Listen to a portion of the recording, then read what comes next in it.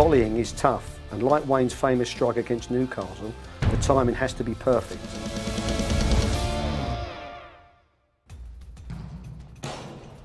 Judge the flight of the ball and adjust your feet very quickly to get in position. Keep your eye on the ball. Let the ball drop. As it does, try to strike it just below knee height. Remain as upright as possible when striking the ball. Hit through the ball and follow through, guiding it towards the target. How did you learn to practice volleying so expertly?